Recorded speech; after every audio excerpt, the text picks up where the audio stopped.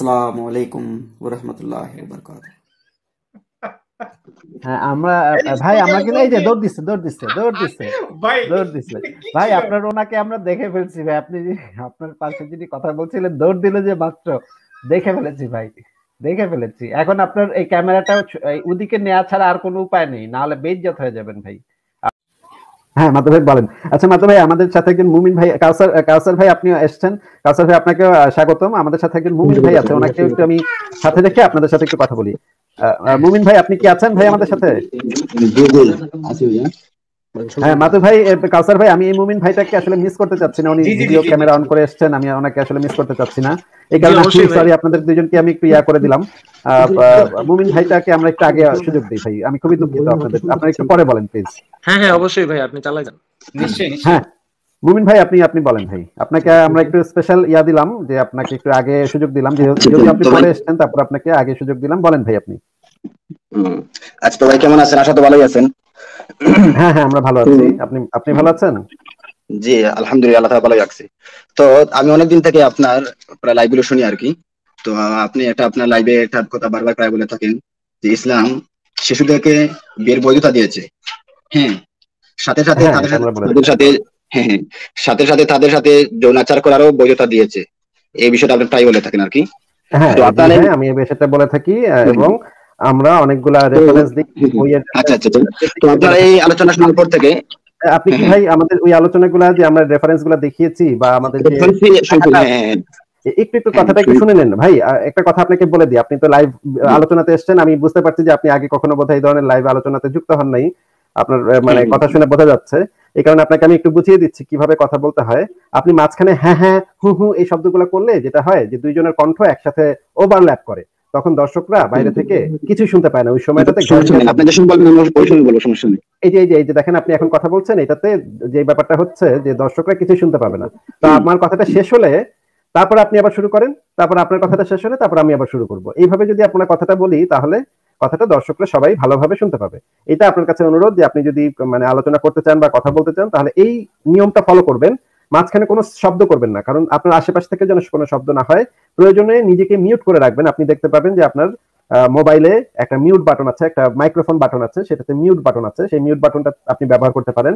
যদি দেখেন যে আপনার আশেপাশে শব্দ হচ্ছে, তাহলে সেই মিউট বাটনটাকে আপনি ব্যবহার করতে পারেন। ভাই মানে নিয়মটা কি বুঝতে পেরেছেন আপনি? জি, ঠিক আছে। আচ্ছা খুবই ভালো কথা। তাহলে আপনি বলেন আপনি কি বলতে চান?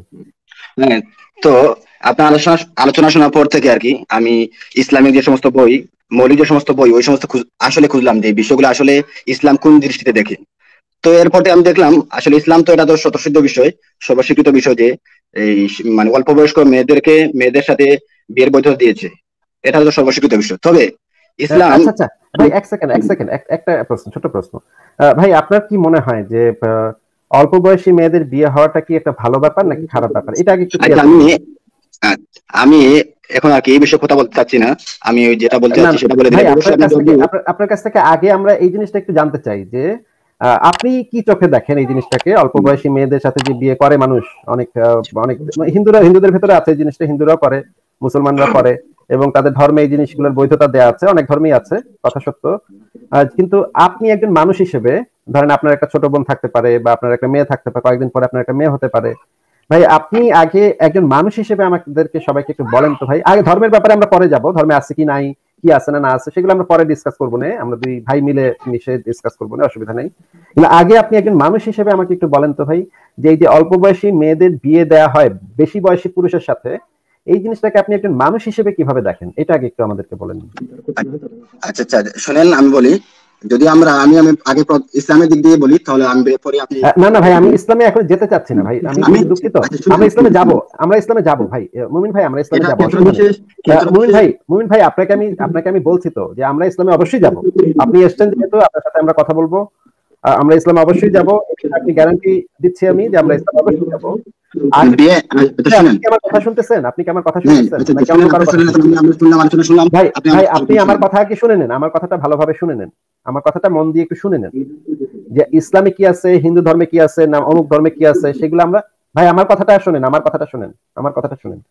ওই আরেকজনের কথা শুনেন না। আমার কথাটা একটু মন দিয়ে শুনেন ভাই প্লিজ আপনাকে বলছি যে আগে ইসলাম ধর্মে যাওয়ার আগে আপনি একটু মানুষ হিসেবে আমাদেরকে একটু বলেন যে এই বিষয়টাকে আপনি কীভাবে দেখেন? তারপরে আমরা ইসলাম ধর্মে যাব না। সময় তো শেষ হয়ে যাচ্ছে না। আপনার কি সময় কম যে আপনার দুই মিনিটের মধ্যে আমার বইলা তারপর চলে যেতে হবে? ভাই আপনারও একটু- না আমার কোনো সমস্যা নাই যদি আপনি সময় দেন আমার কোনো সমস্যা আমি চাই আপনি সময় দিবেন। আমি আপনাকে আচ্ছা, সময় দেবো ভাই। আমি আপনাকে সময় আচ্ছা। দিব। এখানে আরও অনেকে আছেন। সবাই আপনাকে আপনার জন্য স্পেশাল সময় দেওয়া হবে। কোনো সমস্যা নেই। আগে ভাই এই কারণে আপনাকে বলছে আগে ভাই আপনি একজন মানুষ হিসেবে এই জিনিসটাকে কীভাবে দেখেন সেটা একটু আমাদেরকে বলে নেন। এরপরে আমরা ধর্মে যাব না একটু পরে হ্যাঁ? যেহেতু আচ্ছা শুনেন বলতে পারি? হ্যাঁ হ্যাঁ বলেন। যেহেতু অল্প বয়স্ক মেয়ের সাথে বিয়ে হইলে ওর সাথে ওর ক্ষতি না হয় যেহেতু ওর সাথে সহবাস করলে ওর ক্ষতি না হয় না হয় ক্ষতি মানে সক্ষমতা না যদি সহবাস করার সক্ষমতা না থাকে তাহলে শরীয়ত বা ধর্ম বলছে ওর সাথে মানে যৌনাচারা করা যাবে না অবৈধ। সুতরাং এই দৃষ্টিকোণ থেকে ক্ষতি এই- কীভাবে এই ভাই? দৃষ্টিকোণ থেকে কীভাবে? কোনো সমস্যা নাই। ভাই ঠিক আছে, ক্ষতি কারণ- কীভাবে বুঝলাম না তো কথা। ক্ষতি হয় কীভাবে? ক্ষতি না হয় অনেক সময় আছে যে শরীরে না, না, ক্ষতি অনেক সময় মেয়ের কীভাবে? প্রাপ্তবয়স্ক শুনেন। না না ক্ষতি হয় কীভাবে সেটা জিজ্ঞাসা করেছে। আপনি আমার প্রশ্নটা আগে একটু শুনে নেন। ক্ষতি যে হয় এটা যে আপনি বলে ক্ষতি হইতে পারে আপনার কাছে কথা শুনে মনে হচ্ছে যে ক্ষতি হইতেও পারে। কিন্তু ক্ষতি হইতে পারে কি ক্ষতি হইতে পারে? আমাদেরকে একটু ব্যাখ্যা করে আমাদেরকে একটু বলেন যে কি কি ক্ষতি হইতে পারে। একজন যদি একবারে ছোট একটা শিশু হয় যার একবারে মানে গলগঠনে কোনো ছোট তাহলে যদি কেউ ওই একটা মেয়ের সাথে ছোট শিশুর সাথে কেউ যদি যৌন আচরণ করতে যায় করতে যায় আর কি তাহলে তো অনেক শারীরিক ক্ষতি আছে সমস্যা আছে একজন মেয়ে ওই সময় মারা হইতে পারে। অতিরিক্ত রক্তকরণ হইতে পারে সেটা কি ক্ষতি? আমাকে আমাদেরকে একটু বুঝাই বললাম না। ভাই সেটা কি ক্ষতি? আচ্ছা এই তো বললাম। একটা যদি একটা অল্প বয়স একেবারে অল্প বয়স্ক শু- ছোট শিশু সে যদি কত বছর? যেমন কত বছর ভাই? এটা এটার জন্য বয়স নির্ধারিত নাই। অনেক সময় আছে তার দৈহিক গঠন এবং শারীরিক সক্ষমতা এবং যদি ভালো পরিবেশে বড় হয়ে ওঠে তাহলে দেখা বয়স কম বয়স কম তারপরেও সে মানে শারীরিকভাবে তার মানে কি যথেষ্ট। আচ্ছা শুনেন আমি আপনাকে মানে মানে- আপনি বলতে চাচ্ছেন একটু মোটা সোটা হইলে ঠিক আছে মোটা সোটা হইলে আপনি আচ্ছা, করবেন। আচ্ছা, শুনেন আমি মানে ধরেন বছরের একটা মেয়ে। ভাই এবং উপযুক্ত হবে তাহলে আমি আপনাকে। দেখাচ্ছি। কথাটা শুনে নেন কথাটা শুনে নেন মনে করেন আপনার আপনার সাথে একটা মানে পাঁচ বছরের মেয়ে বিয়ে হয়েছে। পাঁচ বছরের মেয়েটা হচ্ছে মোটা সোটা। মোটা সোটা তার মানে তো শক্ত সমর্থ সে মানে যখন হাতে তখন থপ থপ থপ থপ করে শব্দ হয়। সে ওয়েট হচ্ছে তার ওজন হচ্ছে অনেক বেশি। তো ওজন বেশি হলে ঠিক আছে আপনি তার সাথে করবেন নাকি? না ইসলাম ইসলাম বিরিয়ানি তার ক্ষতি হওয়া যাবে না।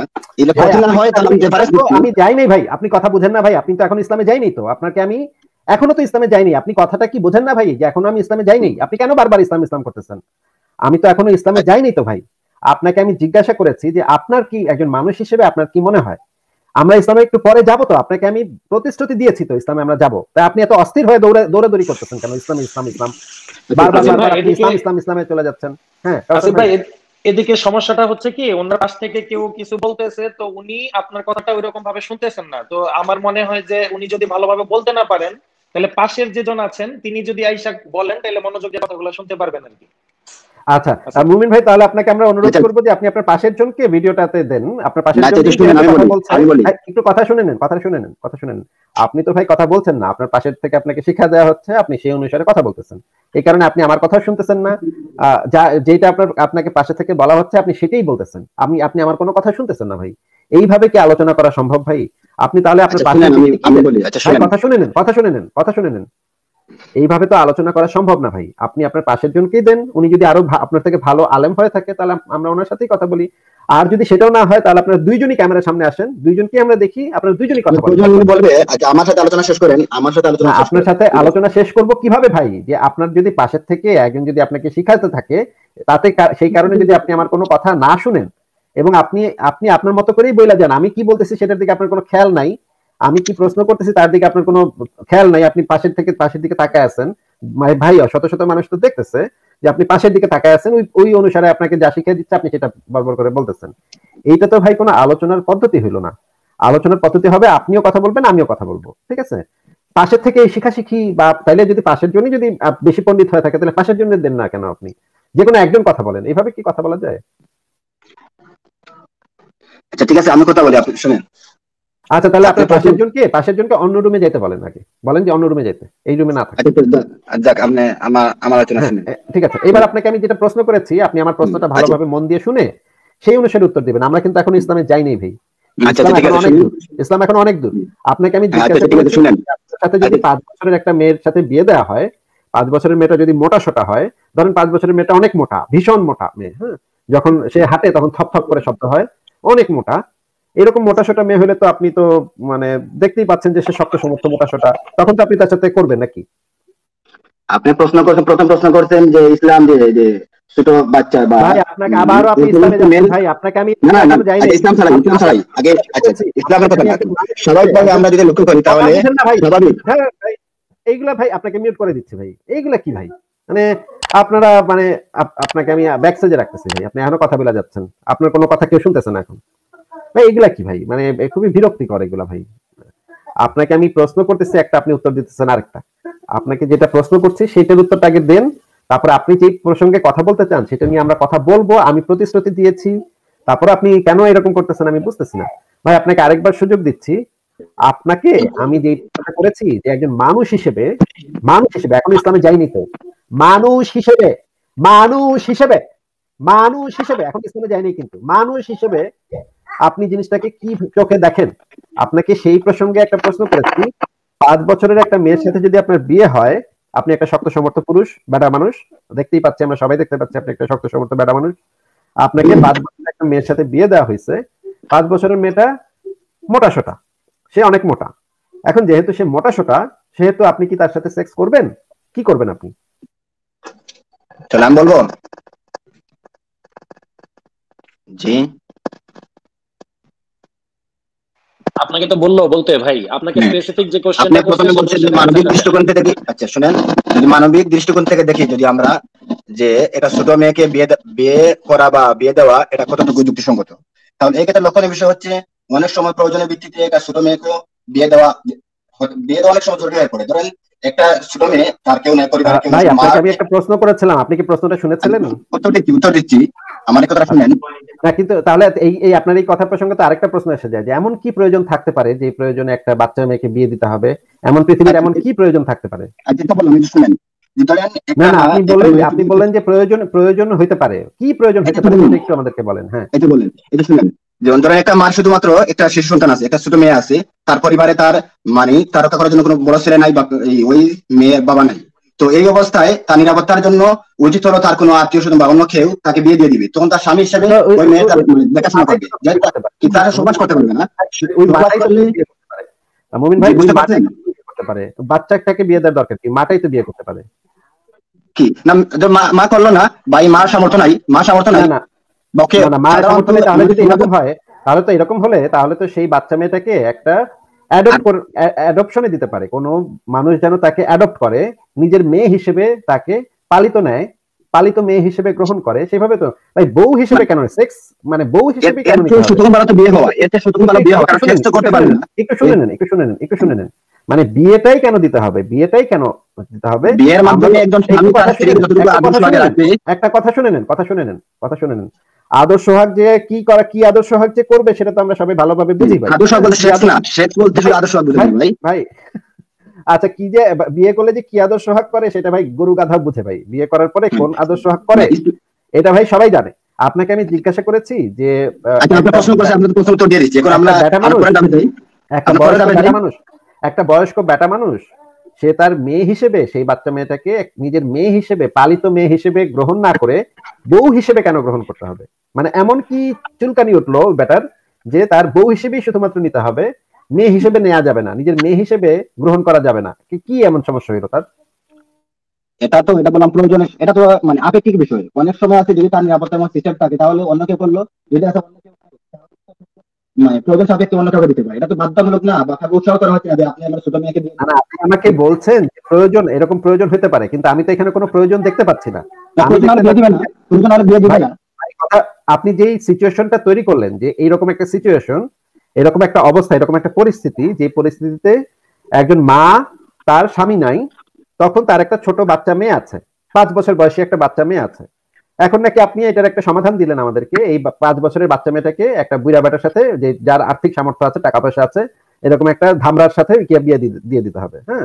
ধামরা বুড়ার সাথে বিয়ে দিতে হবে। এমন না। না আপনি বলেছেন আপনি বলেছেন আপনি বলেছেন এরকম- যদি অবস্থা হয় আপনি নিজেই এই কথাগুলো বলেছেন ভাই। এটা একটা প্রয়োজন। একটা প্রয়োজন হতে পারে না আপনি কি অস্বীকার করতে পারবেন? ভাই মাঝখানে কথা বলছেন ভাই কথাটা একটু শুনে নেন। যে আপনি এরকম একটা পরিস্থিতি আপনি আমাদেরকে বলেছেন যে এরকম একটা পরিস্থিতি হইতে পারে তখন একমাত্র সমাধান হইল ওই বাচ্চা মেয়েটার সাথে বুইরা ধামরাটার বিয়ে দেয়া।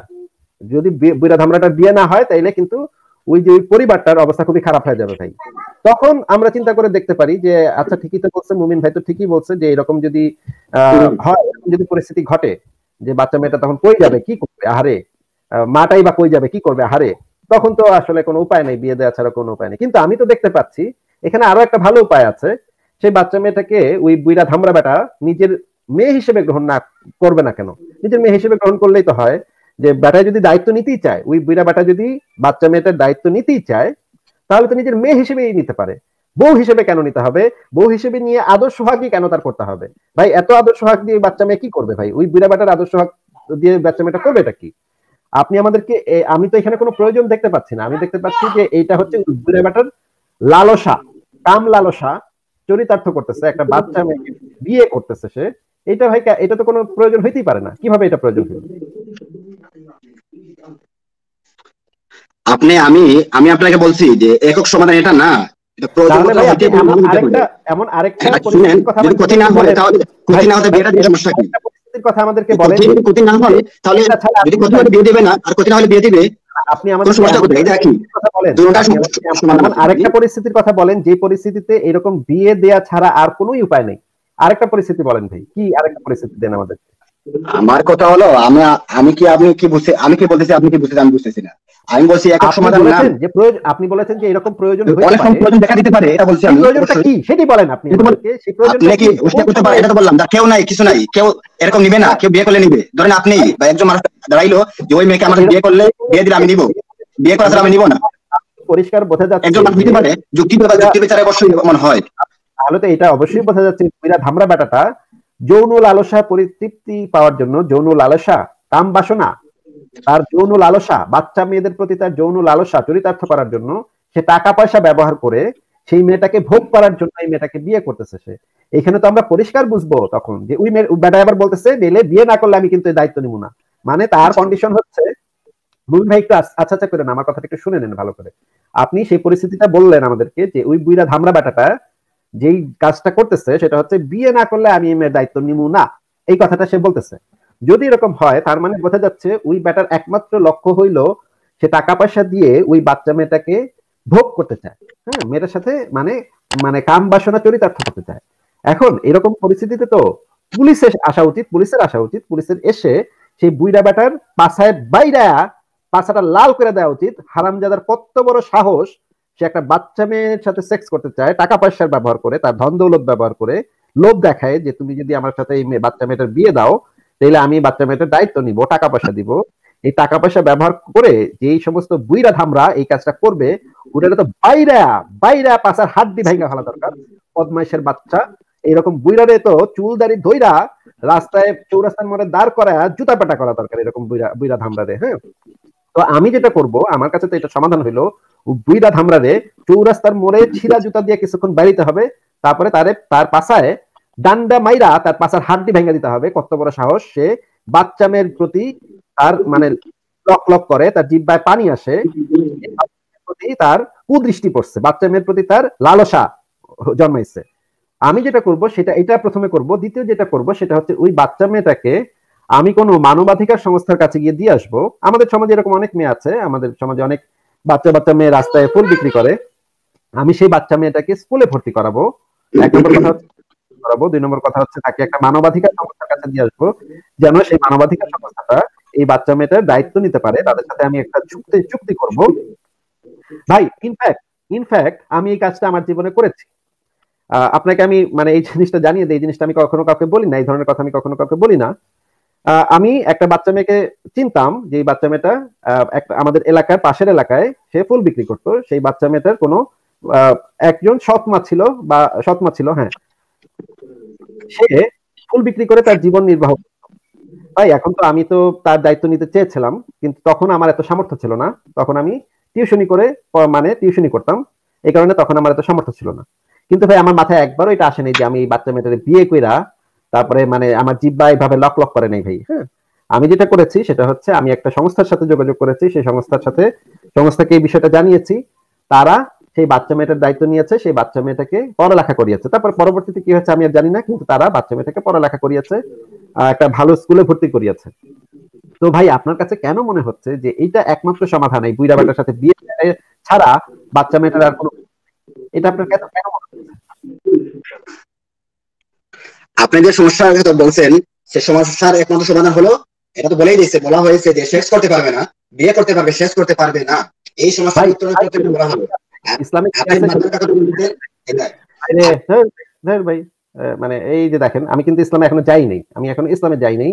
একই কথা সে তার পাশে থেকে শিখাই দিচ্ছে সে একই কথা মানে বলে যাচ্ছে। ধুর ভাই মাতুব্বর ভাই সরি আমি খুবই দুঃখিত আপনি বলেন না মাতুব্বর না, হ্যাঁ ভাই, ঘটনা হচ্ছে যদি এরকম হয় যে দুই একই সাথে দুটা মানুষের সাথে কথা বলার চেষ্টা করছে একটা মানুষ।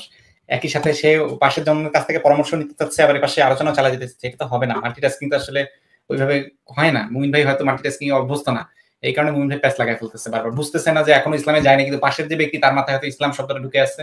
সে তাকে চাচ্ছে ইসলামে নিয়ে আলোচনা করাতে। আসিফ ভাই এবং মাতুপুর ভাই আপনারা একটা জিনিস খেয়াল করেছেন কিনা? ওর পিছনে যে লাইব্রেরিটা দেখা যাচ্ছে সেই লাইব্রেরিটা আমার কাছে পরিচিত পরিচিত লাগতেছে। ঠিক আছে? তো তাকে যে ব্যক্তি শিখিয়ে দিচ্ছিল আহ, সেও হয়তো বা আসলে হয়তো বা পরিচিত ব্যক্তি আমরা দেখতে পারতাম। লাইব্রেরিটা আমার কাছে পরিচিত মনে হচ্ছিল। মনে হচ্ছে আমি অনলাইনে আরও কয়েকবার দেখেছি।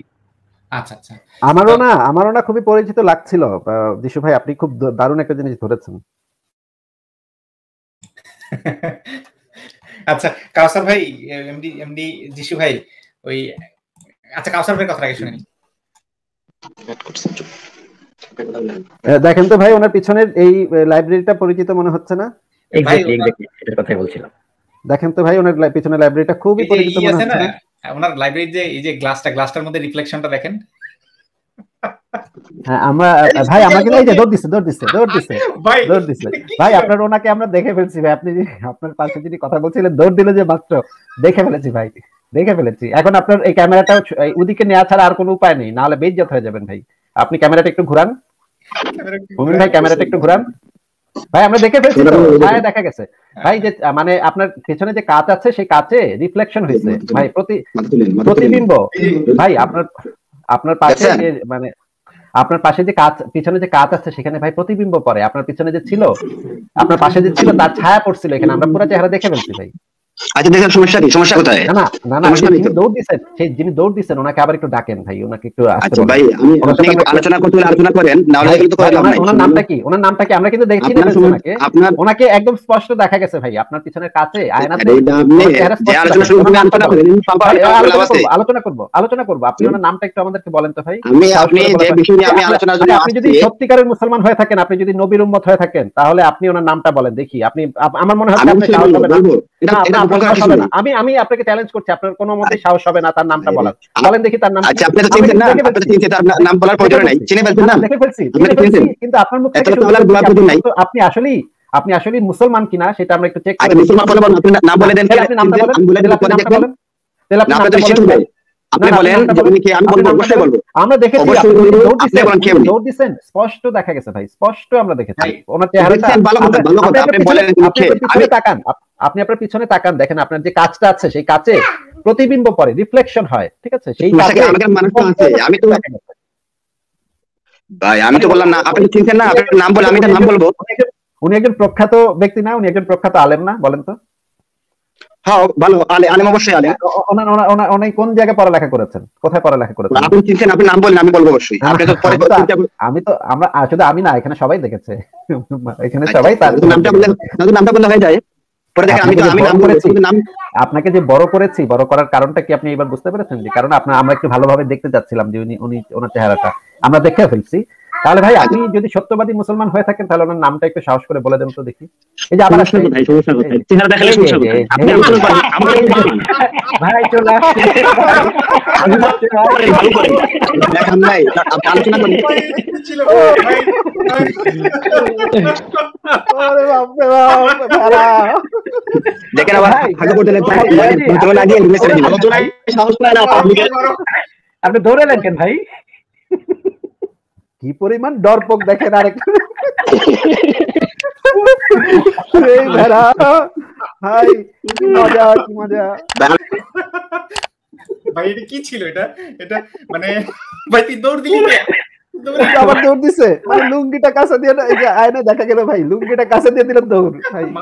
মাথাটা নিচু করে দৌড়িয়েছে। মানে মাথাটা নিচু করে দৌড় দিয়েছে। ভাই আমার পেট ব্যথা হয়ে গেছে ভাই। ও মানে ভাই আসিফ ভাই একটু একটু খেয়াল করেন এদের এদের ব্রেনের এদের মগজ এতটাই মানে এতটাই ডাউন যে পিছে গ্লাসের মধ্যে যে কেউ দেখতে পারে এই চিন্তাটাও তাদের মধ্যে নাই। হ্যাঁ। বড় গাধার গাধা তোরা একটু পিছনে চেক করে দেখবি না যে তোদের পিছনে আয়না আছে? তোরা একটু চেক করে দেখবি না গাধার বাচ্চা? ভেড়ার বাচ্চা ভেড়া তুই দেখবি না তোর পিছনে কি তোর চেহারা যে দেখা যাচ্ছে? তোর যে মানে ছাগলের মতো দাড়ি সেটা যে পরিষ্কার আমরা দেখতে পাচ্ছি আবার দৌড় দিলে যে সেটাও দেখতে পেলাম। তুই চিন্তা করবি না কি একটা অবস্থা?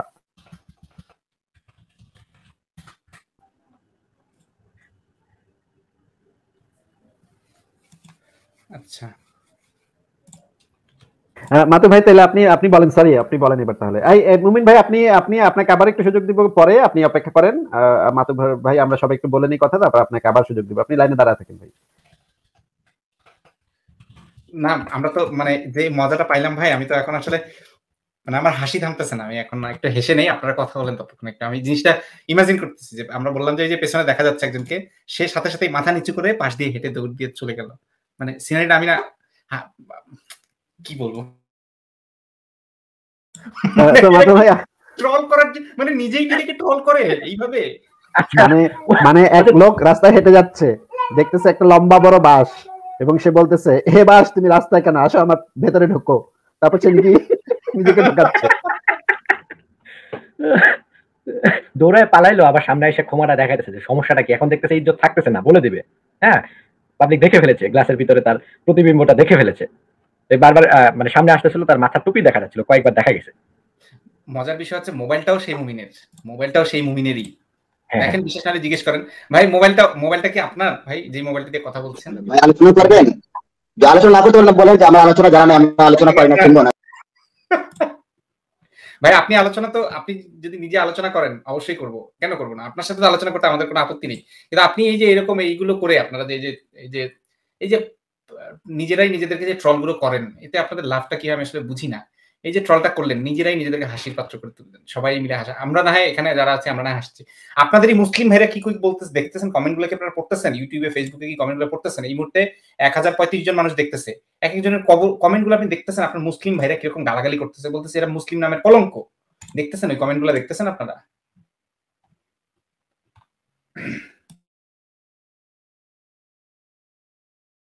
মানে একটা জিনিস এই জায়গাতে পরিষ্কার যে এই লোক অ্যাকচুয়ালি কি আলোচনা করার জন্য আসছে নাকি না? মানে এই যে কথার পৃষ্ঠে কথা ওভারলেকিং বারবারই করতেছে বারবারই করতেছে। এগুলো তো তাকে শিখাই দেওয়া হয়েছে। তুমি খালি কথা হ্যাঁ, বলতে কথা. বলবা ওভারলেকিং করবা ইন্টারাপ্ট করবা তোমার বের করে দেবে পরে বলবে যে এই যে এই যে দেখছ আমার বের করে দিচ্ছে মানে এই হয়েছে গিয়ে এদের মানে এদের অ্যাকচুয়ালি আলোচনা করার কোনো ইন্টারেস্টই নাই। যদি আলোচনা করার ইন্টারেস্ট থাকে চুপ করে কথা শুনবে কথা শুই না বুঝা উত্তর দেবে আলোচনা করবে এইভাবে আলোচনা চলে তাই না?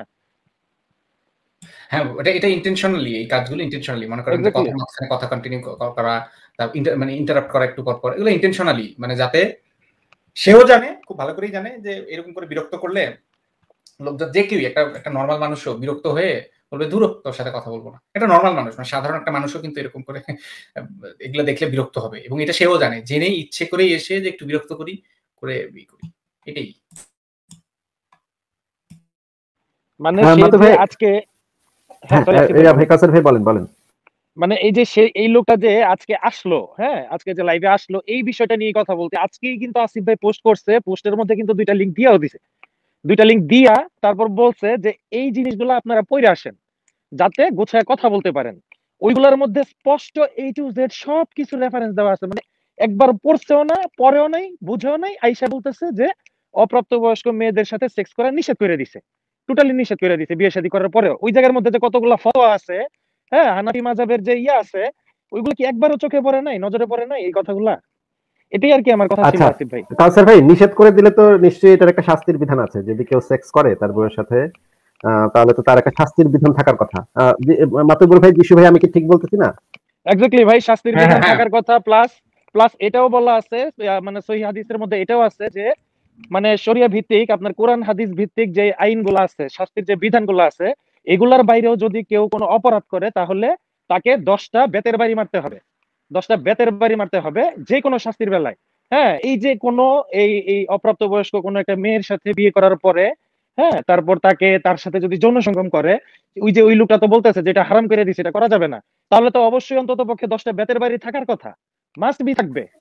তাহলে আমরা একটু।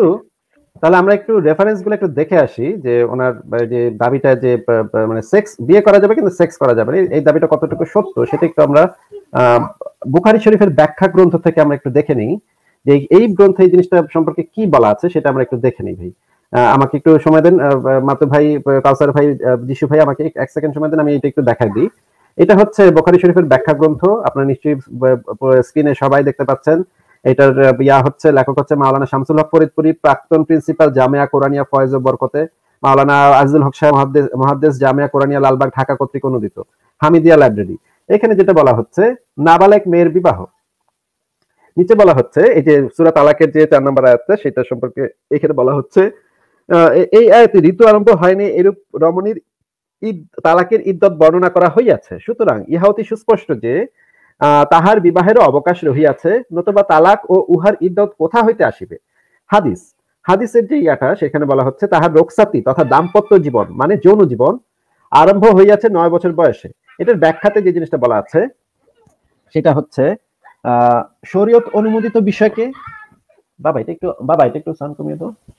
আচ্ছা সরি ব্যাখ্যাতে বলা হচ্ছে, শরীয়ত অনুমোদিত বিষয়কে বেআইনি সাব্যস্ত করা এবং শরীয়তের বেআইনি বিষয়কে অনুমোদন করা ইহারই নাম তাহরিফ বা শরীয়তের বিকৃতি সাধন, যাহা ইহুদিন করিয়াছিল। নিচে যে জিনিসটা ব্যাখ্যাটা দেওয়া হচ্ছে, দেখেন, এই ব্যাখ্যাটা হচ্ছে সবচেয়ে গুরুত্বপূর্ণ। অপ্রাপ্তবয়স্ক ছেলে মেয়েদের বিবাহ সম্পর্কে ইমাম বোখারি কোরআন ও হাদিস দ্বারা শরীয়তের অনুমোদন প্রমাণিত করিয়াছেন। ইহাকে বেআইনি করা বস্তুত শরীয়ত তথা আল্লাহ তালা কর্তৃক তাহার বান্দাদের জীবন ব্যবস্থা রূপে প্রদত্ত শাসনতন্ত্রে হস্তক্ষেপ ও উহার তাহরিফ বা বিকৃতি সাধন করা।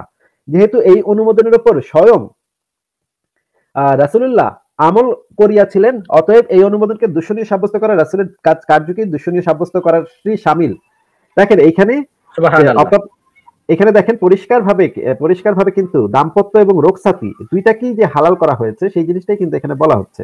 এই যে দাম্পত্য মানে বিবাহ রোগসাতি দুইটা কথা এখানে বলা হচ্ছে। এইটার সাথে আরও আছে হচ্ছে গিয়ে, আর আমরা আরেকটা রেফারেন্স একটু দেখে নিই। আমি আশরাফুল হিদায়াত থেকেও আসব। তার আগে তাহফিমুল কোরআন, যেটা হচ্ছে সৈয়দ আবু আলা মৌদুদি উপমহাদেশের মানে অত্যন্ত প্রখ্যাত একজন স্কলার তার যে তাহফিমুল কোরআন, সেই গ্রন্থটা থেকে দেখেন একদম এই যে এই নিচের অংশটা। সুতরাং যেসব মেয়েদের এখনও ঋতুস্রাব শুরু হয়নি, তাদের ইদ্যত বর্ণনা করা স্পষ্ট, তো কথাই প্রমাণ করে যে এ বয়সে মেয়েদের বিয়ে শুধু জায়েজই নয়, বরং তার সাথে স্বামীর নির্জন বাস ও মেলামেশাও জায়েজ। দেখেন, স্বামীর সাথে নির্জন বাস এবং মেলামেশাও জায়েজ। এখন এই কথা স্পষ্ট যে কোরআন যে জিনিসকে জায়েজ বলে ঘোষণা করেছে, তা নিষিদ্ধ করার অধিকার কোনো মুসলমানের নেই। এরকম অসংখ্য রেফারেন্স আমাদের এই যে সংশয় ডট কম এই লেখাটার ভিতরে আছে। আপনারা একটু পড়ে দেখেন। হ্যাঁ ভাই তাহলে তাইলে এই জায়গার মধ্যে আমরা যে জিনিসটা দেখতে পারলাম যে অপ্রাপ্ত বয়স্ক মেয়ে, তার সাথে যদি স্বামীর বিয়ে হয়, নির্জন বাস করারও বৈধতা আছে। হ্যাঁ? আমরা এই জায়গার মধ্যে অবশ্যই তাইলে যদি, এটা যদি ইসলাম মতে হারাম বলে তাহলে এই জায়গার মধ্যে তো বৈধতা দেওয়ার কথা থাকতোই না টোটালি থাকতো না প্লাস শাস্তির বিধান থাকতো। এখন আল্লাহর হদ আল্লাহর হদ সমূহের মধ্যে আমরা এরকম ধরনের কোনো শাস্তি বিধান পাই না। হ্যাঁ পাই না, তো আমরা যদি আরেকটু দেখি, আমরা যদি সহি বুখারির একটা হাদিস দেখি এটা ইসলামিক ফাউন্ডেশন থেকে প্রকাশিত। আমি যেহেতু মোবাইলে সে কারণে আমি শেয়ার করতে পারতেছি না। এটা হচ্ছে সহি বুখারি ইসলামিক ফাউন্ডেশন কর্তৃক প্রকাশিত ছয় হাজার তিনশো চৌরাশি নাম্বার হাদিস। এই হাদিসের মধ্যে বলতেছে, আব্দুল্লাহ ইবনে ইউসুফ আবু বুর্দা থেকে বর্ণিত, তিনি বলেন, নবী সাল্লাহ আলাইসাল্লাম বলতেন, আল্লাহর নির্ধারিত হদ সমূহের কোনো হদ ব্যতীত অন্য ক্ষেত্রে দশ কষাঘাতের ঊর্ধ্বে দণ্ড দণ্ড প্রয়োগ করা যাবে না। হ্যাঁ? তো এই জায়গার মধ্যে যে আমরা যে জিনিসটা পাইলাম যে এক তো মানে এই আল্লাহর হদ ব্যতীত একটা হয়েছে দশ কষাঘাতের বেশি দণ্ড প্রয়োগ করা যাবে না। অন্তত পক্ষে এই দশ কষাঘাতের দণ্ড আছে এটা দেখাতে হবে তো তাই। তাই না ভাই? যদি হারাম হ্যাঁ থাকে। ভাই আরেকটা জিনিস হচ্ছে যে আরেকটা জিনিস দেখাচ্ছি ওই যে যেটা ওনাদের মাদ্রাসাতে পাঠ্যপুস্তক সেই বইটা থেকে আরেকটা জিনিস দেখাচ্ছি। এটা হচ্ছে আশরাফুল হিদায় আল হিদায় গ্রন্থটা তো ওনাদের পাঠ্যপুস্তক ওনাদের এটা পড়ে পাশ করতে হয়। আশরাফুল হিদায় গ্রন্থে যে জিনিসটা বলা হচ্ছে দেখেন। আহ, এই অল্প বয়স্কতার কারণে, আর যদি অল্প বয়স্কতা কিংবা বার্ধক্য- বার্ধক্যের কারণে ঋতুমতি না হয়, তাহলে ইদ্যত হবে তিন মাস। ভাই, যৌনকর্ম না হলে কি কারও ইদ্যত হয়? যৌনকর্ম না হলে কি কারও ইদ্যত হয়? এটা মানে এগুলা কি কথা ভাই? সেটাই, এটা তো কোরআনের আয়াত দ্বারাই প্রমাণিত যে কোরআনের আয়াতের মধ্যেই বলতেছে যদি স্পর্শ না করো তাহলে ইদ্যতের প্রয়োজন নাই, আর যদি স্পর্শ করে তাহলে ইদ্যতের প্রয়োজন, ইদ্যতের ইদ্যতের প্রয়োজন আছে এটা কোরআনের আয়াতের মধ্যেই আছে। সেই সাথে আমরা ফতোয়ায় আলমগিরি, সেটাও একটু দেখে নিতে পারি। ফতোয়ায় আলমগিরি তো এই জিনিসটা বলা আছে যে এখানে মানে মাসালাটা দেয়া আছে যে যদি এরকম যৌনকর্ম পরে, কিন্তু সেখানে কোথাও কোনো শাস্তির বিধানের কথা নাই। আমি ফতোয়ায় আলমগিরি থেকে আমি এখন দেখাচ্ছি। আপনারা একটু দেখেন স্ক্রিনে দেখা যাচ্ছে বোধ হয় আমি আরেকটু না হয় বড় করি, দেখি আরেকটু বড় করে দেওয়া যায় নাকি। এখানে দেখেন, মাসালা বিশ নম্বর মাসালাতে যে জিনিসটা বলা হচ্ছে আদাবুল কাজী গ্রন্থ উল্লেখ করেছে, এখনও হায়েজ জারি হয়নি এবং এমন নাবালিকা স্ত্রীর সাথে তার স্বামী যদি সহবাস করে থাকে, সে যদি এমন বয়সী হয় যে সে বালিকারা সচরাচর সহবাস করা যায় তবে তালাকের পর তার ইদ্যত হবে তিন মাস। মানে দেখেন, এখানে কিন্তু পরিষ্কারভাবে বলে দেওয়া হচ্ছে যে নাবালিকা মেয়ের সাথে যদি সহবাস করে তাহলে সেই বালিকার বয়স সেই বালিকার জন্য ইদ্যত হবে তিন মাস। এটা তো বলে দেওয়া হচ্ছে এবং কোনো শাস্তির বিধানের কথাও কোথাও নাই। তাহলে আর কি থাকে ভাই? একদম পরিষ্কার বিষয়গুলো একদম পরিষ্কার। ঠিক আছে? আচ্ছা যাই হোক যেটা বলতে চাইছিলাম আসিফ ভাই তো আমরা তো সম্প্রতি দেখছি আমাদের এই ফেস দা পিপল একটা পেজ তো সেই পেজের মধ্যে আপনার আপনার একটা আলোচনার একটা কথা হয়েছিল উঠছিল। তো আগেও বেশ কয়েকবার আলোচনা হয়েছিল তো সেই জায়গার মধ্যে দেখা গেছে যে কোনো আলেমি রাজি না কোনো আলেমি আসতে রাজি না নাস্তিকদের সাথে কথা বলবে না এরকম একটা মাত্র। একটা ভিডিও কাউসার ভাই কাউসার ভাই হ্যাঁ। প্রথমে কিন্তু তারা রাজি ছিল এই যে ভারুন ইসার কিন্তু স্ট্যাটাসও দিছিল এটা নিয়ে সে আসবে করবে। তারপরে হ্যাঁ। ইয়াও কিন্তু রাজি হয়েছিল মানে আব্বাসি। এনায়েতুল্লাহ আব্বাসি আব্বাসি উনিও রাজি হয়েছিলেন। কিন্তু পরে যে বিপদ বুঝতে পারলেন সেই ওনাদের মনে হয় ইয়াটা মানে ফুস করে উড়ে গেল।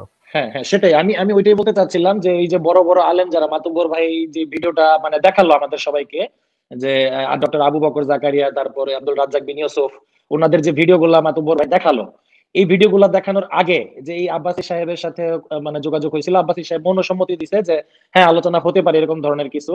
হ্যাঁ তারপর ওই ইজহার সাহেব তো মানে সরাসরি স্ট্যাটাস মারছে পোস্ট মারছে, যে আসো আলোচনা করব। পরবর্তীতে তাদের সাথে যোগাযোগ করে আর এক- একজনকেও পাওয়া যায় নাই। তো আমরা তো দেখলাম, ফুস করে গেল। তো একজন বীর যোদ্ধা সাহসী তাকে আমি সাহসী বলব যে সে সাহস করে আসছিল কথা বলার জন্য পরবর্তীতে কি হইল ভাই কোন জায়গা থেকে কি সমস্যা হইল বুঝতে পারি না। তবে আমি ওনার একটা জিনিস আমি দেখাতে চাই। মাতুব্বর ভাই আপনি কি আপনি যদি একটু ওনার স্ট্যাটাসে মানে উনি- যে স্ট্যাটাসগুলো দিচ্ছে ওইগুলা থেকে একটু যাইতে পারবেন? আচ্ছা এই যে এই এই এই এই মহাশয় রাজি হয়েছিল যে উনি আলোচনা করবেন হ্যাঁ এই যে সৈয়দ গোলাম কিবরিয়া আজহারি।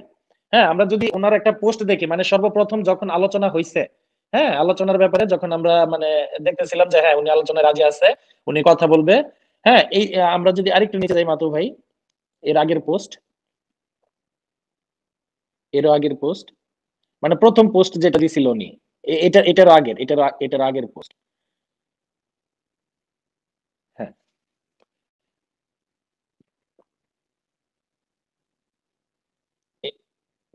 এটা হ্যাঁ হ্যাঁ হ্যাঁ। এই তো ভাই, একটু নিচের দিকে যান একটু একটু নিচের দিকে যান।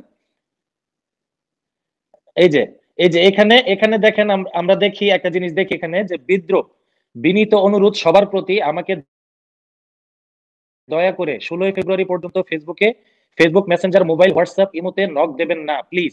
এই কদিন আমাকে ইন্টারনেটেই থাকতে হবে, তবে তা কেবল প্রস্তুতির জন্য। হ্যাঁ ভাই, বন্ধুরা, আপনারা দেখবেন যে উনি একটা পোস্ট করছে। এই কয়দিন উনি ইন্টারনেটেই থাকবেন, ওনাকে যেন কেউ ডিস্টার্ব না করে হোয়াটসঅ্যাপ ফেসবুক মেসেঞ্জারে কেন হচ্ছে এটা? এই যে তবে কেবল প্রস্তুতির জন্য এইসব ব্যবহার করতে হবে, তবে তা কেবল ডিবেটের প্রস্তুতির জন্য না। উনি ডিবেটের প্রস্তুতি নেবেন, ষোলো তারিখ পর্যন্ত মানে ভর, ভরপুর প্রস্তুতি নেওয়ার মানে ওনার ইয়া অনলাইনে থাকবেন। আচ্ছা আমরা পরবর্তীতে যখন ডিবেটটা ক্যান্সেল হয়েছে আমরা যখন ফেস দ্য পিপলে দেখতে পাইছি ডিবেটটা ক্যান্সেল হয়েছে তখনই পাশাপাশি উনি একটা পোস্ট করছেন, ঠিক আছে? উনি একটা পোস্ট করছেন, সেই পোস্টটা এই তো এক্স্যাক্টলি এই যে এই পোস্টটা করছেন সৈয়দ গোলাম কিবরি আজহারি, তো এই পোস্টার যদি আমরা যদি একটু নিচের দিকে যাই হ্যাঁ? নিচের দিকে গেলে এই পোস্টটা আমরা দেখতে পারব কি লিখছেন উনি। হ্যাঁ এটা নিচে, আরেকটু নিচে যান ভাই। আরেকটু নিচে, আরও নিচে আরও নিচে আরও নিচে আরও নিচে আরও নিচে আরও নিচে। এই যে, ভাই, এই জায়গাতে একটু দেখি। হ্যাঁ এই যে কোথায় লেখাটা চলে গেল? প্ল্যাটফর্ম রাজি হয়েছিল। এটা এটা না, একটু নিচে।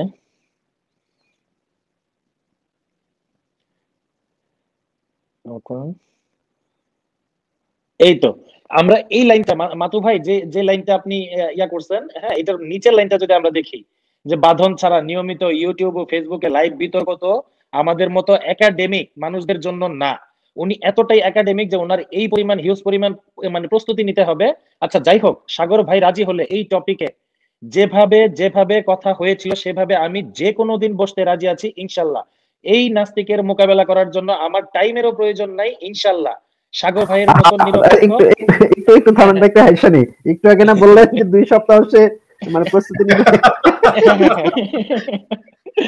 কাউকে কেউ আমাকে ফোন করবেন না কেউ আমাকে মেসেজ দিবেন না আমি কিন্তু প্রস্তুতি নিব। আমার কিন্তু দুই সপ্তাহ লাগবে প্রস্তুতি নিতে। এখন হ্যাঁ। বলতেছে টাইম লাগবে না। মানে হ্যাঁ, বিনোদন ভাইয়ের এক একটা। এই যে দেখেন, আরও আছে, এই যে ইনশাল্লাহ ইনশাল্লাহ বলতে বলতে ওনার অবস্থা খারাপ। এই নাস্তিকের মোকাবেলা করার জন্য আমার টাইমেরও প্রয়োজন নাই, ইনশাল্লাহ। সাগর ভাইয়ের মতন নিরপেক্ষ প্ল্যাটফর্ম থেকে যে কোনো সময় বসতে রাজি আছি, ইনশাল্লাহ। মানে যে কোনো সময় লাগবে, ওনার টাইম লাগবে না, যে কোনো সময় উনি বসতে রাজি আছেন। আহ, আল্লাহ, আজ বলে কি? হ্যাঁ ইনশাল্লাহ। আজ বলেন, আজ। কাল বলেন, কাল, ইনশাল্লাহ। মানে ইনশাল্লাহর বন্যা এত লম্বা ডেট লাগবে না, ইনশাল্লাহ। ঠিক আছে? এতদিন মানে উনি কি মানে উনার কোনো মানে প্রথম পোস্টের মধ্যে উনার বিশাল প্রস্তুতি নিতে হবে কেউ ডিস্টার্ব করবেন না। আর এই জায়গার মধ্যে আজ বললে আজই যে কোনো সময় ইনশাল্লাহ কোনো সময় লাগবে না টাইম লাগবে না। মানে পোস্টটা যখন ক্যান্সেল হয়ে গেছে ডিবেটটা যখন ক্যান্সেল করে দিচ্ছে সাগর ভাই তখন উনার এইরকম কমেন্ট কেন? বন্ধুরা আপনারা একটু চিন্তা ভাবনা করে একটু বলেন তো। এরকম কমেন্ট কেন সাহস উতলায় উঠছে বুঝছেন? হঠাৎ করে সাহস তখন উতলায় উঠছে। কিন্তু আর হবে না কিন্তু বললে সমস্যা কি এই লাইনটা দেখে আমার একটা জিনিস মনে হলো যে ওনার তো বোধ হয় আগে নিজেদের ডিসকাশন করা নিজেদের মধ্যে ডিবেট করাটা বেশি জরুরি ছিল। কারণ এই যে এই মুমিন ভাই আমি জানি না সে কোথায় পড়াশোনা করছে বা কি করছে আমার কোনো আইডিয়া নাই। উনি যে এই যে বললেন ভুল অনুবাদের আশ্রয় নিয়ে এই অনুবাদে যে ভুল আছে, এই কথাটা তো মানে বলবে যারা কোনোদিন আরবি ভাষায় পড়াশোনা করে নাই, যারা কোনোদিন স্কলারদের কাছ থেকে শিক্ষা নেয় নাই, যাদের কোনো হচ্ছে উস্তাদ নাই, কিচ্ছু নাই মানে যারা ঘরে বসে ইন্টারনেটে ইউটিউবে দেখে যারা ইসলাম শিখছে, তারা এই জিনিস, এই তারা, সেই সব মুমিনরা এইসব বক্তব্য দেয় যে ভুল অনুবাদের আশ্রয়। আপনি যদি একাডেমিক হন, আপনি এই কথাটা কেমনে বলেন যে ভুল অনুবাদের আশ্রয় নিয়ে? ভুল অনুবাদের থাকলে আপনার চোখের সামনে ভুল অনুবাদ ঘুরে বেড়াচ্ছে, ইসলামিক ফাউন্ডেশনের মতো একটা জিনিস।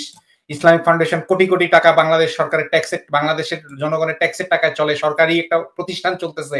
আপনি তাদেরকে গিয়ে ভুল অনুবাদের কথা না বললে নাস্তিকের সাথে কথা বলার সময় আপনার মনে পড়ে যায় ভুল অনুবাদ ছিল। ফাইজলামি করার মানে কোনো জায়গায় পায় না এনারা। চিন্তা করেন, ভুল অনুবাদের আশ্রয়। ভুল অনুবাদ যারা করেছে, যাদের কাছ, তারা করছে, যাদের কাছ থেকে আপনি ইসলাম শিখছেন, যাদের কাছ থেকে আপনি ডিগ্রি নিছেন, আপনার সার্টিফিকেটে যারা সিগনেচার করছে, তাদেরকে আপনি বলতেছেন যে ভুল অনুবাদ করছে। ভাই, ভুল অনুবাদ শিক্ষাই তো আপনি সিগনেচারটা আপনার সার্টিফিকেটের মধ্যে করছে তারা।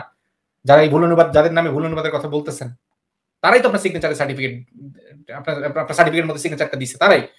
তো তাদেরকে কি আগে বলেন যে, হুজুর, আমার সার্টিফিকেটটা ফেরত দেন, অনুবাদটা আগে ঠিক করেন, এরপরে আবার সার্টিফিকেটটা দেন, তারপরে আমি আবার নিজেকে একাডেমিক বলে এরকম করে দাবি করব, এই করব, সেই করব। মানে স্ববিরোধী এই কথাগুলো বলার সময় এনারা স্ববিরোধী কথাগুলো বলে, বুঝতে পারে না। কারণ নিজেরা নিজেদেরকে তো কখনো শোনে না, নিজেরা নিজেদেরকে তো কখনো দেখে না। এই যে কথা বলতেছে সে লাইভের মধ্যে, এখানে এক হাজারের মতো মানুষ দেখতেছে, তাদের সামনে এসে যুক্ত হয়েছে। নয়শো এক হাজার মতন মানুষ তাকে দেখতেছে, সে খেয়ালই করে নাই। তারা তাদের মাথাতেই নাই যে আমি এখানে হাসির বস্তুতে পরিণত হচ্ছি। তাদের মাথাতেই নেই।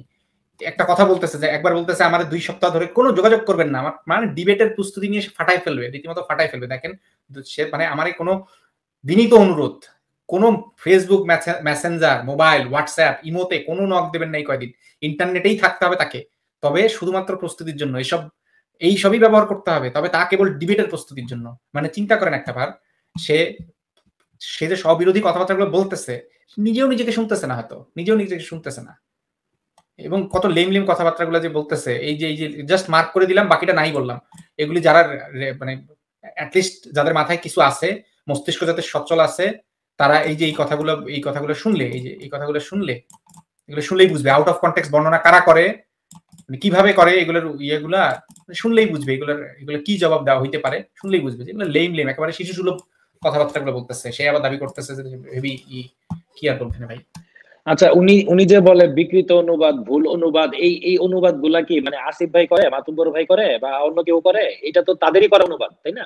তো এটা যদি ভুল অনুবাদ হয়, তাদের তো সংশোধন করা উচিত, এই অনুবাদগুলা যদি ভুল হয়, তাই না? ওনাদের তখন মনে পড়ে না, বুঝছেন? ওনারা যখন এই ভুল অনুবাদগুলো পড়ে, এই ভুল অনুবাদগুলো যারা করেছে, সেসব কুরুর কাছে যখন ইসলাম শেখে, তখন তাদের মনে পড়ে না যে, হুজুর, আপনি তো আমার ভুল শিখাইতেছেন। তখন এটা মনে পড়ে না, এটা মনে পড়ে যায় পরে। পরবর্তীতে এগুলো মনে পড়ে। যখন নাস্তিকদের সাথে এসে কথা বলে, যখন নাস্তিক এখানে এসে তারা বলে, ভাই cats and it is raining cats and dogs মানে ওরে হ্যাঁ হ্যাঁ। এটার মানে না না না না না, এটার মানে তো কুত্তা বিলাই মিলে বৃষ্টি বৃষ্টিতে ভিজতেছে। দেখেন দেখেন, অনুবাদ করেন ক্যাটস মানে কুত্তা। কি বিলাই ডগস মানে কুত্তা। এই যে কুত্তা বিলাই মিল্লা, বৃষ্টিতে ভিজতেছে ভাই। কি করেন আপনারা? অনুবাদ, বিকৃত অনুবাদ নিয়ে বৈশা পড়ছেন? মনে আছে আসিফ ভাই? প্রায় প্রায় আসে কিন্তু, এসে আমাদেরকে শেখায়। না না, এখানে বন্ধানেরই বলে না, এখানে অন্য কিছু বলছে। না না, এখানে কেমন পর্যন্ত বলে না, এখানে অন্য কিছু বলছে। লিটারালি আমাদেরকে এসে শব্দের মানে শোনায়, বুঝায়। বলে কি, এই শব্দ অমুক শব্দ থেকে উৎপত্তি উৎপত্তি হয়েছে এটার মানে এইটা, এটার মানে ওইটা। এরপরে দেখা যায় যে আলটিমেটলি ওদের গুরুর কাছ থেকে যেটা শিখছে, সেটাই আসলে সত্য, সেটাই আসলে ঠিক। তার মাঝখান থেকে এই সমস্ত যোগগুলো করার মানে হয় না, আমার মনে হয় না যে ওরা কেন করে। হয়তো নিজেকে বুঝতে পারে না হয়তো ওরা। ওইগুলা ওইগুলা করার কারণ আছে, মাতু ভাই। ওইগুলা করার কারণ আছে, যে মানে এই যে নবী মোহাম্মদ মানবিক মানুষ ছিলেন, এরকম ধরনের কথা যদি কারও কাছে বলেন, তখন দেখবেন যে হ্যাঁ আলহামদুলিল্লাহ সুবহান আল্লাহ এখানে কোনো ভুল অনুবাদ নাই, কোনো কিছু নাই। যখন একটা হাদিস দেখাবেন যে নবী মোহাম্মদ দাসীর সাথে সেক্স করতো। কি ভাই? এই যে এই যে দাসীর সাথে যে সেক্স করতো, এই কথাটা যদি মানুষ শুনে, বর্তমান যুগে আইসা যদি একটা মানুষ শুনে মানে কি ভাববে নবী মোহাম্মদ সম্পর্কে? কি ধারণা নেবে? এই জায়গা থেকে তারা হচকায়া যায়। হচকায় গিয়া তারা সত্য কথাগুলো গোপন করার জন্য সকলের সামনে বলে, ভুল, অনুবাদ, এটা সমস্যা আছে, এই জিনিসে সমস্যা আছে, ওই জিনিসে সমস্যা আছে। মানে নেগেটিভ কোনো কিছু যখন কেউ তুইলা ধরে তাদেরই করা অনুবাদ থেকে, তখনই তাদের মনে হয় ভুল অনুবাদ। আগের আয়াত, পরের আয়াত দেখতে হবে, দিলে পরে এর তাফসির দেখতে হবে। তাফসির দেখলে এই তাফসির মানি না, সহি হাদিস দেখাতে হবে। সহি হাদিস দেখাতে হলে দেখাইলে এই যে দেখেন হানাফি মাযহাব এই যে এই- আলেম এরে ইয়া মানে এই রাবিকে বলছে দুর্বল অথচ তারাই কিন্তু সহি বইলা পূর্ণ নিরীক্ষণ বইলা টিক দিয়া রাখছে। বুঝছেন? এই হয়েছে অবস্থা। মানে তাদের এই ভুল অনুবাদগুলা আসে সাধারণত এই ক্ষেত্রে। হ্যাঁ ভালো হ্যাঁ, কিছু আসলে ঠিক আছে নেগেটিভ অবস্থায় গেলে ভুল অনুবাদ। হ্যাঁ ভাই। দেখেন অবস্থা দেখেন। দেখছেন অবস্থা? মিস করলাম। আচ্ছা ভেড়া ভেড়া যদি তার ভেড়ার মুখটা সামনে আনে তাহলে স্ক্রিনে আনব। ভেড়া যদি তার চেহারাটা সামনে আনে তাহলে স্ক্রিনে আনব। মুমিন ভাই আপনার আপনার পাশের ভেড়াকে বলেন মুখটা সামনে আনতে তাহলে এই সে লাইভে নিব। সত্যি সত্যি। মুমিন ভাই আপনার দোস্ত ভেড়াকে বলেন এখানে মুখটা আনতে। মুখটা আনলেই লাইভে নিব। যুক্ত করব করব। আর বসা রাখব না আপনাদেরকে। আসেন আসেন। ভেড়াকে বলেন মুখটা সামনে আনতে ক্যামেরার সামনে আনতে। গোয়াল ঘরে পিএইচডি কারি না? গোয়াল ঘরে আপনি আমার সাথে আলোচনা করেন আপনার সাথে আলোচনা করব কি ভাই? বেড়া নিয়ে আসছেন। আচ্ছা কাসার ভাই হ্যাঁ বলেন কাসার ভাই শেষ করেন ভাই। আচ্ছা আসিফ ভাই তো আমার এতটুকু বলার ছিল তো আমি বললাম তো